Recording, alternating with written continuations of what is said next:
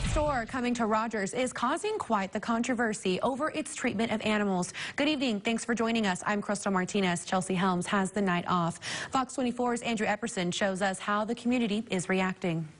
$45.22. Desiree Green works at the Animal Clinic of Rogers. She's extremely unhappy one new pet store is moving into the city.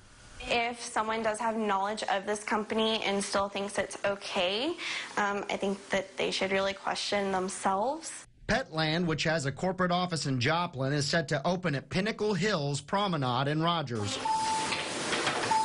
Green worries about the company's business practices, which include pet payment plans and buying from breeders.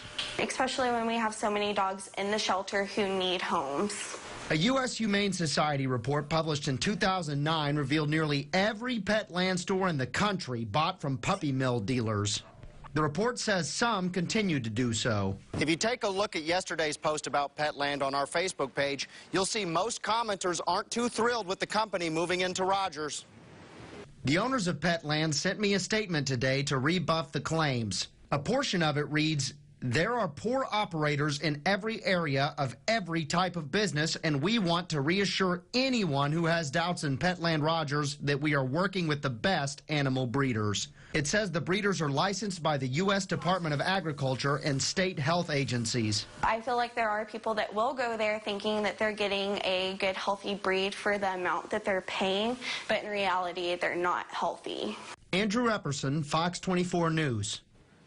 Well, in response to calls and social media posts regarding the pet store set to open in Rogers, Mayor Greg Hines released the following statement. I understand the concern of the proliferation and conditions of puppy mills and share those concerns. However, neither I nor my office have any statutory authority to regulate a pet store that has received and obtained the appropriate licenses.